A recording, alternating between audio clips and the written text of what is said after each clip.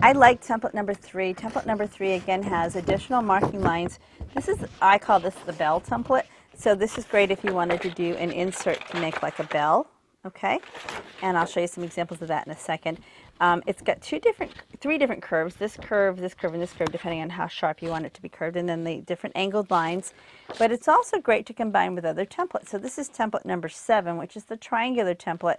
And I put these two together to make this valance, which I'm going to give to Monica in a second. She's going to slide it up on a rod so you can see how it looks all gathered up. But you can see how the lines just kind of continue here. So we continued these lines, and so the template just goes on and on like that.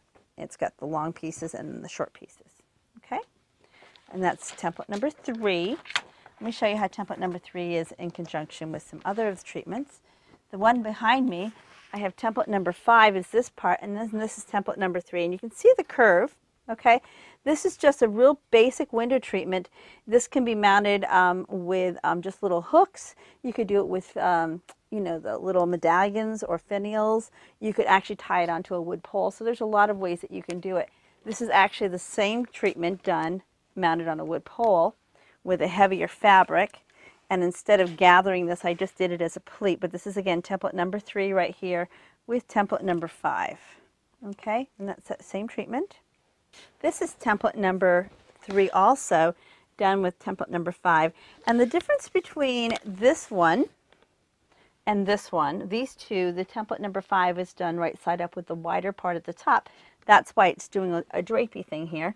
This one has the wider part at the bottom. And what that does is that creates a more exaggerated bell effect for template number three. So when you look at this, template number three seems to be more bell shaped or more flared out and it tends to show that more. I cut this with the upper curve so you see a lot of that curve which means that the lining is exposed and I've done a nice flat piping on this window treatment to show you.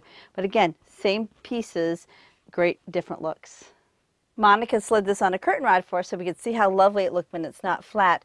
And you can see, we because we use a really nice contrasting lining, it shows, these are our bells, this is the template number three right here, in conjunction with template number seven. And see how the the scenery repeats itself each time. Each time it's in the same place, and that's what is a mark of a good window treatment.